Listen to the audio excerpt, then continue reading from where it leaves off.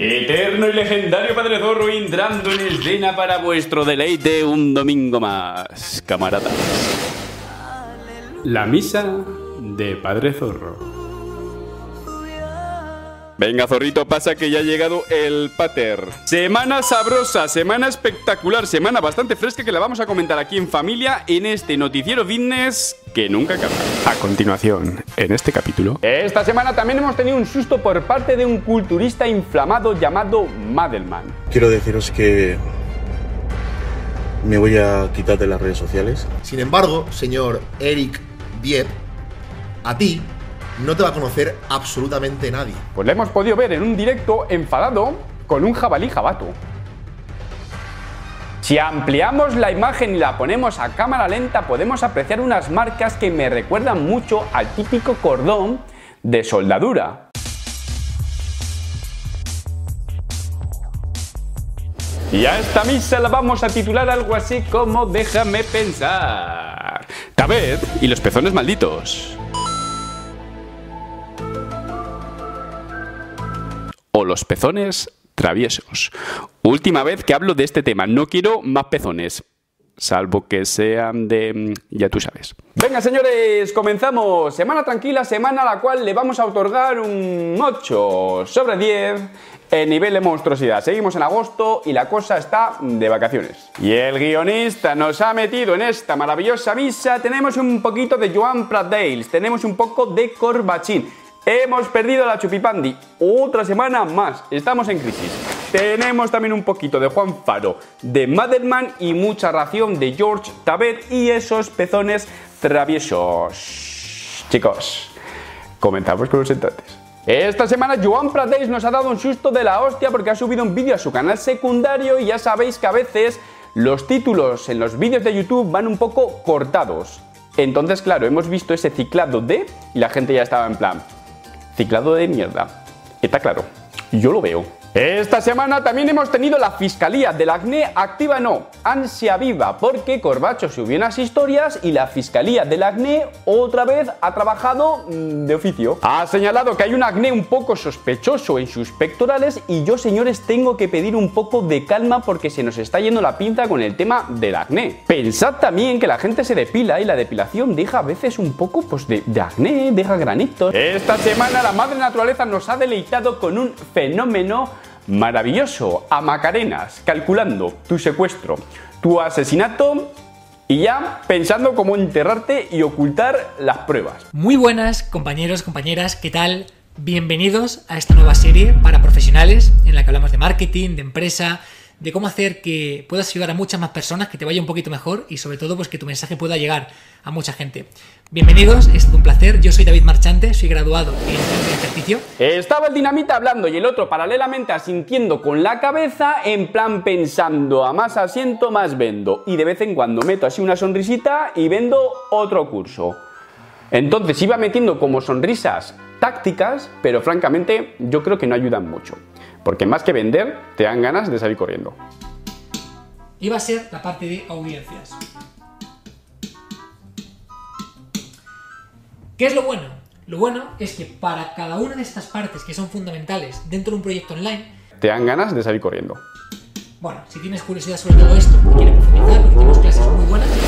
Esta semana la amante de todas nuestras novias ha sufrido un pequeño percance en sus manos. Y ahora mira cómo tengo los dedos, ¿qué hago ahora? Vosotros sabéis que Juan Faro tiene que proporcionar orgasmos a todas nuestras novias mientras nosotros no estamos. Y claro, esta es una labor tediosa, es una labor muy complicada, porque son muchas mujeres, muchos orgasmos, muchos clítoris. Entonces las manos sufren. ¿Siete dedos?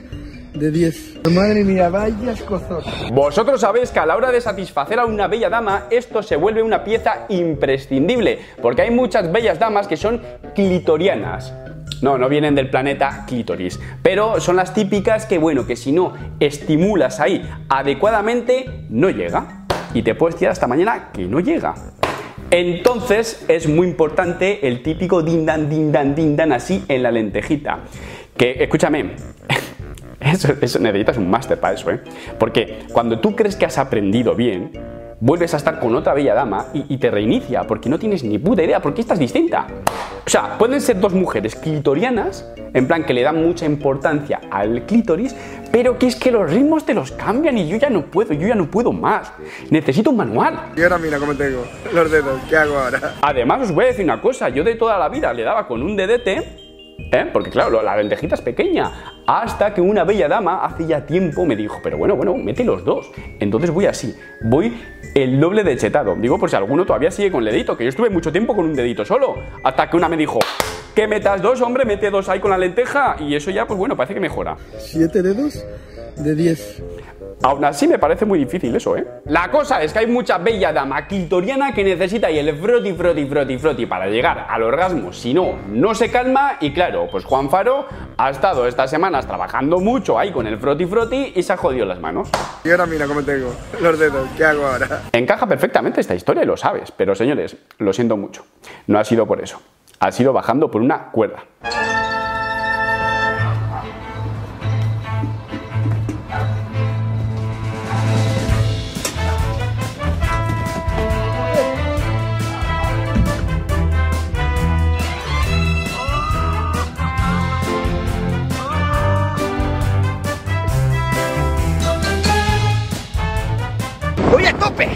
Voy en cabeza de carrera, hago saltar los radares de la Guardia Voy a los frenos a esta bicicleta.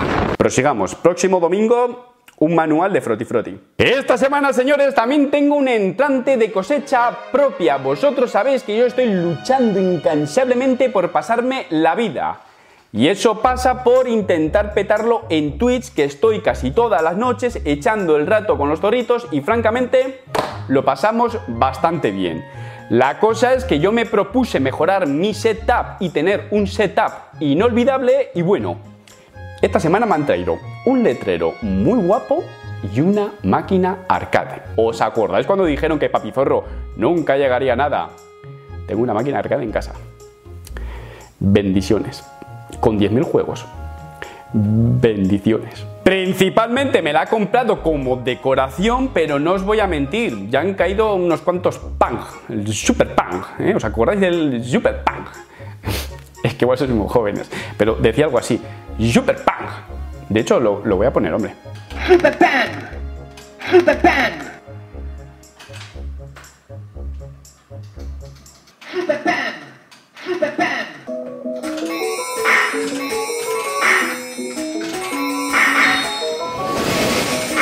Esta semana una página de memes de confianza llamada Arnold el Cruel ha subido un meme sobre un niño bastante forzudo con solo un año de edad. Básicamente es el hijo secreto de Joan Prateils.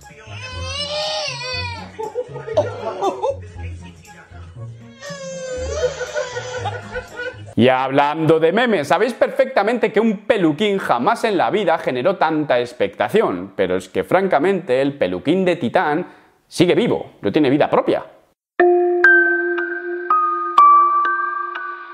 Me estáis pasando constantemente memes sobre ese peluquín y esta semana tenemos un meme que se parece bastante al, de, al, mítico este Frankenstein. Esta semana también hemos tenido un susto por parte de un culturista inflamado llamado Madelman. El señor Madelman esta semana ha tenido un poquito de polémica en torno a su figura porque quedó en tercera posición en Alicante, después hizo un vídeo donde se le calentó un poco el morro y acto seguido recogió cable a toda hostia, bomba de humo y aquí no ha pasado nada. De hecho, su bomba de humo me afectó a mí que tuve que quitar un vídeo porque, porque me lo pidió. Esto lo cuento también porque cuando quitas un vídeo te lo preguntan un montón de veces como si fueras alguien maligno. Señores, si me piden amablemente que quite un vídeo, yo quito el vídeo, pero a mí dejadme de líos, que a mí no me han amenazado ni me ha pasado nada raro. Porque a él sí le debió pasar algo así raro que, que no voy a contar más porque se han recogido los vídeos escape. Ha ocurrido algo horroroso, ha habido cosas raras por ahí, no voy a dar detalles. La cosa es que a colación, después de la bomba de humo, de lo que ha ocurrido y de todos los tijimanejes, hizo una broma al respecto. El típico clickbait de me voy de las redes, pero es broma. Bueno, después de unos días donde han sido, bueno, bastante duros para mí, he estado pensándolo bien y, bueno, quiero deciros que me voy a quitar de las redes sociales Eh, básicamente por mensajes que he recibido, son mensajes muy cómodos. Eh, mensajes como, Morenito, dame un hijo tuyo. Si no trabajas en correos, ¿por qué llevas ese paquete? Méteme todo lo negro. Quiero que me parte los dientes. Esta semana también hemos podido ver a un George Tabet que está muy activo. Esta es la semana de Tabet. Pues le hemos podido ver en un directo enfadado con un jabalí jabato. Y luego terminan como Ronnie Coleman con problemas de espalda. ¿Sabéis lo que ocurre? Cuando, hacéis eso- cuando alguien hace ese comentario, te hacen algún mal a ti, tío. Ellos sacrifican su puta vida, sacrifican su puta vida por ser reconocidos en la historia. Esta gente va a pasar a los, vamos, la historia los va a conocer. A Ronnie Coleman, todo el puto culturismo de ahora y de dentro de mil años le va a conocer. Sin embargo, señor Eric Biep, a ti no te va a conocer absolutamente nadie.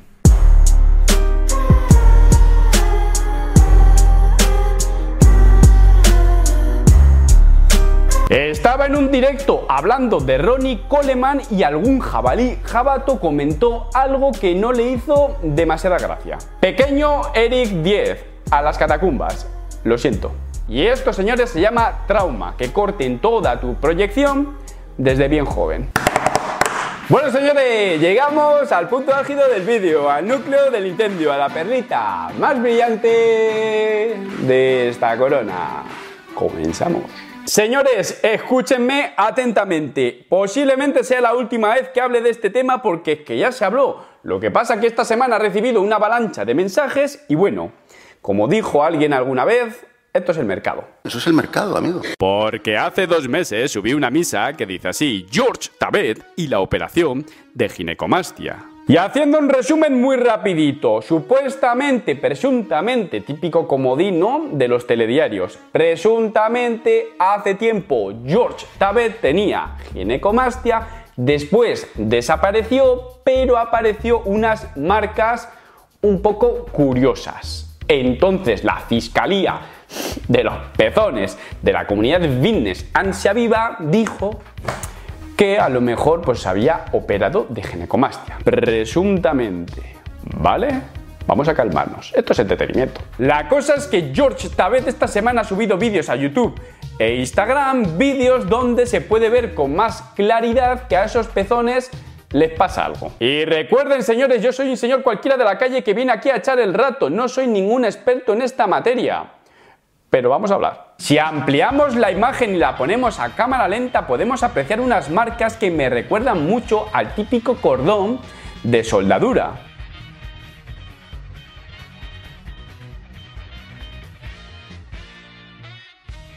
Si te fijas detenidamente en la imagen puedes apreciar una areola que da la sensación de estar succionada. Algo así como que hubo algo, eh, se operó y ha quedado como mm, vacía la zona. Entonces la areola queda como, como metida para adentro. Os voy a ir poniendo imágenes de antes y después en operaciones de ginecomastia para ver si encontramos alguna imagen donde se pueda apreciar una areola como succionada. Esto de decir areola succionada es una forma de hablar. Seguramente que me ve un cirujano y dirá, ¿este señor qué dice?